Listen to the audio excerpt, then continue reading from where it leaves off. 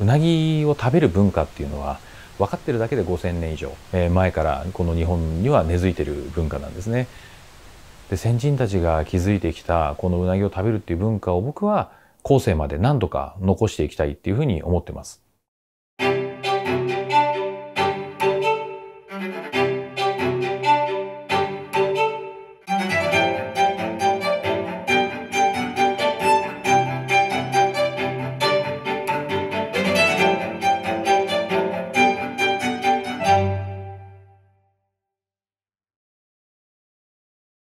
うな重を作る工程を見ていきたいと思います。まずですね、もちろんうなぎを裂くところから始まります。次は串を打つ。串を打ってから今度は素焼きをします。この素焼きをする作業を白を入れるというふうに言います。関東風ですので蒸して、蒸し上がったらタレにつけて焼いてかば焼きに仕上げると、こういう工程でございます。うなぎを仕込む上で、えー、最も大事な包丁。えー、この包丁を研ぐという作業を説明していきたいと思います。え包丁が欠けたり角度が変わっちゃったりした時に直す粗と通常使う中と、えそして仕上げ用の砥石。この仕上げ用の砥石が非常に重要な役割を担います。うなぎの包丁に関しては研ぐ面が何面かあります。その角度がですね1段しかないように見えるんですがもう1段2段実はある包丁なんです。そこの部分をこの天然の砥石を使って仕上げていきます。まず濡らしてその後にですねこの名倉と呼ばれる小さなこの石これをこの天然の砥石の表面にこすりつけてあげながら特素というものを出していきますこのような段階になってきたら裂いていきますまずは先の部分ですね。ここは結構その鋭角なんですけれども、ここはちょっと若干鈍角になる。つまり45度ぐらいの角度にはなってくるかと思います。0. 何ミリのところをこれから研いでいきます。包丁の裏を当てて、えー、右手で包丁を持ち人差し指を包丁の背のところに当て固定させます。左手の小指の方の側面で包丁の先側そこを押さえだいたい45度ぐらい。その角度を固定させるということが大事になってきます。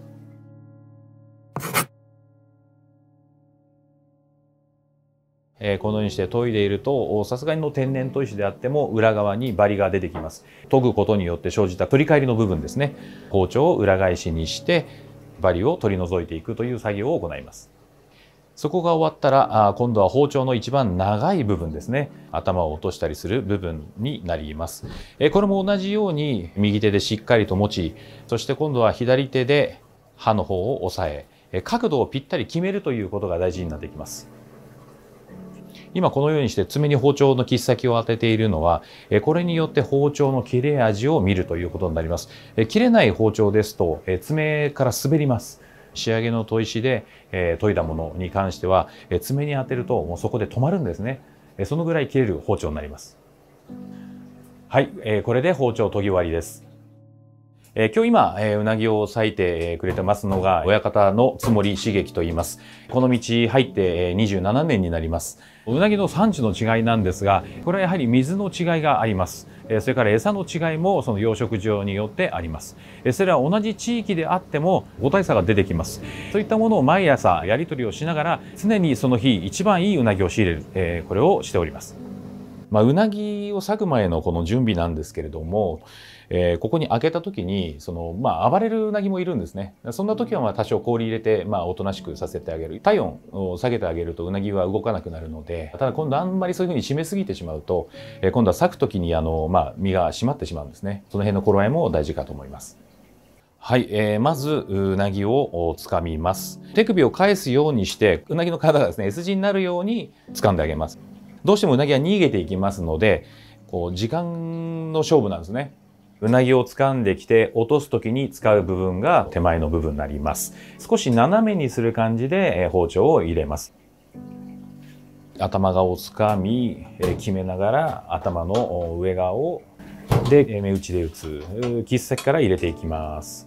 であのこの時にですね左の人差し指の先で包丁をちょっとこう皮越しに感じるっていうんですかね実はこの包丁の先っちょが少しね止まってますでこれなぜかというと腹側が、えー、切れないようになってますその時に、えー、左の人差し指でしっかり押さえるんですが、その包丁の切っ先を感じながら、左手のしっかり押さえながら包丁を骨の上を進めていく感じになります。こういったものはやっぱり経験がものを言うんですが、えー、何がやはり一番違うかって、これはなかなか難しいです。熟練の職人が割いてると、こう、すごく力感がないっていうんですかね。あの、もう包丁が勝手にうなぎの骨の上を進んでいくっていうような、えー、まあ、感じを受けます。つまり、どれだけ力を抜いて、えー、うなぎを裂いているかっていうことなんだと思います。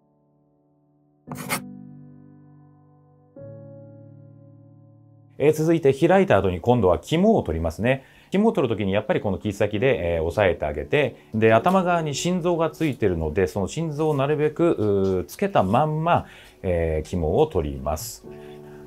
その後今度、えー、骨を引きます。骨を引くときに使うのがこの一番長い部分。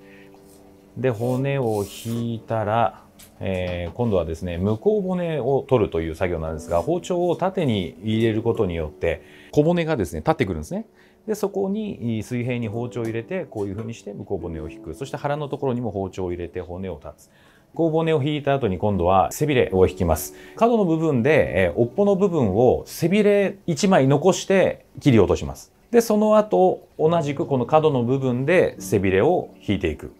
えそして最後腹びれを引くと。でこういうふうにあの包丁の全ての場所を使うというような作業になります。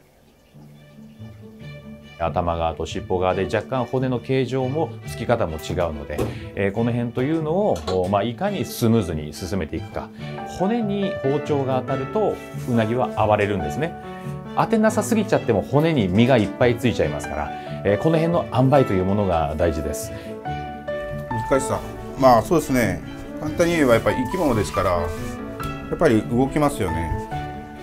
いかに動かさない暴れさせないように開いていくかっていうとこですかねまあ一つ一つパッと見簡単に見えるかもしれないですけど要所要所が細かいところがあるので